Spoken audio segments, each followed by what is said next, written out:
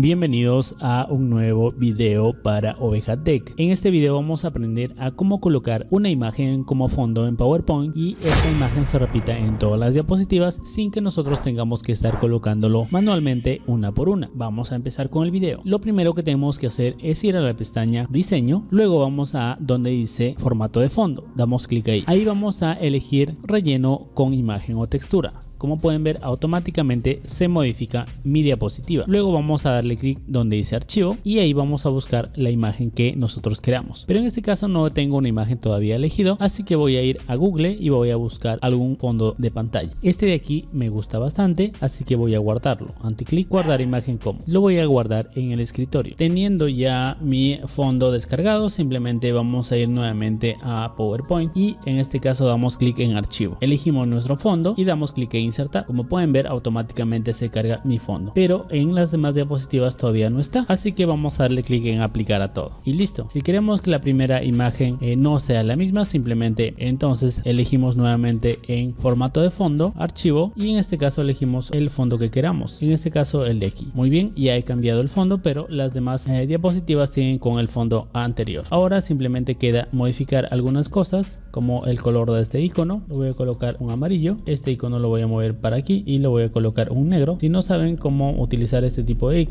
tengo otro video donde enseño cómo utilizar iconos en PowerPoint, iconos que me van a permitir cambiar el color, cambiar el tamaño, entre otras cosas. Bien, otra característica también de este truco es que podemos, por ejemplo, agregar más diapositivas y como pueden ver, el fondo se mantiene. Es un muy buen truco para no tener que estar cargando a cada rato fondos en nuestro PowerPoint. Gracias por ver el video, eso sería todo. No olviden suscribirse, darle me gusta, compartir las redes sociales para poder seguir creciendo.